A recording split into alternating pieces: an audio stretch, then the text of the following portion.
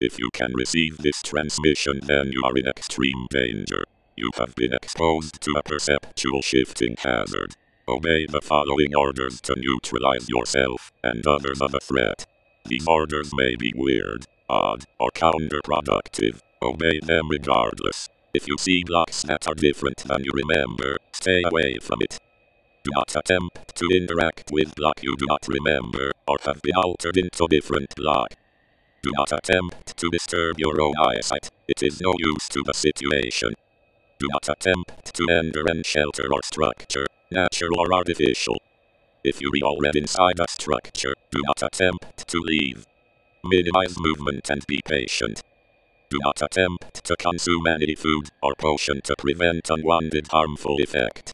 If you have augmented or altered eyesight, only use the unaltered vision to prevent dual misperception. In addition, stay away from any of these following type of block and their derivatives, redstone, explosive, storage device, and freefall object. These directives are enforced by your administration regime. Obey them regardless. Stay calm and good luck. A rescue team are already on its way to your location to assist you.